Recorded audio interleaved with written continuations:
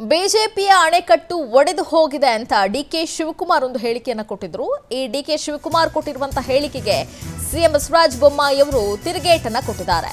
D K she ಅವರೇ ಲಿಂಗಾಯತ ಡ್ಯಾಮಿನ ಬಗ್ಗೆ ಮಾತನಾಡ್ತಾ ಇದ್ದೀರಿ. ಇದು ಎಷ್ಟು ಗಟ್ಟಿ ಇದೆ ಅಂತ ನಿಮಗೆ ಅರಿವಿಲ್ಲ. ನೀವು ಅದನ್ನ ಒಡೆಯುವ ಭ್ರಮೆಯಲ್ಲಿದ್ದೀರಿ. ಎರಡು ಸಾವಿರದ ಹದಿನೆಂಟರಲ್ಲಿ ನಿಮ್ಮ ಸರ್ಕಾರ ಇದನ್ನ ಒಡೆಯುವುದಕ್ಕೆ ಸಾಧ್ಯವಾಗಲಿಲ್ಲ. ಈಗೇನ್ ಮಾಡುವುದಕ್ಕೆ ಸಾಧ್ಯ ಅಂತ ಪ್ರಶ್ನೆಯನ್ನು ಹಾಕಿದ್ದಾರೆ ಸಿಎಂ. ಮೊದಲು ನಿಮ್ಮ ಕಾಂಗ್ರೆಸ್ನ ಗುಂಡಿಯಲ್ಲಿ ನೀರಿಲ್ಲ. ಅದರ ಬಗ್ಗೆ ಚಿಂತನೆ ಮಾಡಿ. ನಿಮ್ಮ ಹೇಳಿಕೆಯನ್ನ ಸವಾಲಾಗಿ ಸ್ವೀಕರಿಸಿದ್ದೇವೆ. ಮೇ ಹದಿಮೂರಕ್ಕೆ ಯಾರ್ ಯಾರ ಡ್ಯಾಮ್ನಲ್ಲಿ ಎಷ್ಟೆಷ್ಟು ನೀರಿದೆ ಅಂತ ಗೊತ್ತಾಗುತ್ತೆ ಅಂತ ಟ್ವೀಟ್ ಮೂಲಕ ಡಿ ಕೆ ಶಿಗೆ ಸಿಎಂ ಬಸವರಾಜ ಬೊಮ್ಮಾಯಿ ಅವರು ತಿರುಗೇಟನ್ನ ಕೊಟ್ಟಿದ್ದಾರೆ.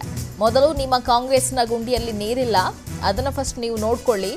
ಅದರ ಬಗ್ಗೆ ಚಿಂತನೆ ಮಾಡಿ. ನಿಮ್ಮ ಹೇಳಿಕೆಯನ್ನು ನಾವು ಸವಾಲಾಗಿ ಸ್ವೀಕರಿಸಿದ್ದೀವಿ. ಮೇ ಹದಿಮೂರಕ್ಕೆ ಯಾರ್ಯಾರ ಡ್ಯಾಮ್ನಲ್ಲಿ ಎಷ್ಟು ನೀರಿದೆ ಅಂತ ಗೊತ್ತಾಗುತ್ತೆ ಅಂತ ಸವಾಲನ್ನು ಹಾಕಿದ್ದಾರೆ.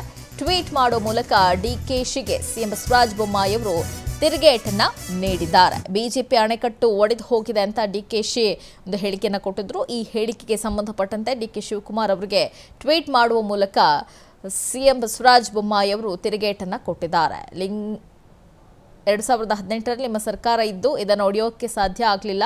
ಈಗೇನು ನೀವು ಮಾಡ್ತೀರಿ, ನೀವೇನು ಹಾಕಿದ್ದೀರಲ್ವ ಸವಾಲು? ಅದನ್ನು ನಾವು ಗಂಭೀರವಾಗಿ ಪರಿಗಣಿಸಿದ್ದೀವಿ. ನೋಡೋಣ, ಮೇ ಹದಿಮೂರಕ್ಕೆ ಯಾರ್ಯಾರ ಡ್ಯಾಮ್ನಲ್ಲಿ ಎಷ್ಟು ನೀರಿದೆ ಅಂತ ಗೊತ್ತಾಗುತ್ತೆ ಅಂತ ಟ್ವೀಟ್ ಮಾಡೋ ಮೂಲಕ ಡಿ ಕೆ ಶಿವಕುಮಾರ್ ಅವರಿಗೆ ತಿರುಗೇಟು ಕೊಟ್ಟಿದ್ದಾರೆ.